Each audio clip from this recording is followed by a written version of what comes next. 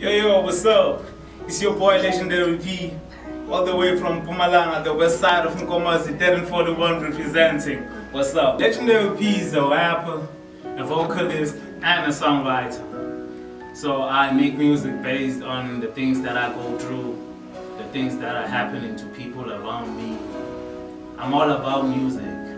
Yeah, man, I, I deserve the platform. I, really do, because I feel like we, we at the stage where the game right now, it, it needs some, something new, someone new. And I'm what they don't have. I'm what's missing.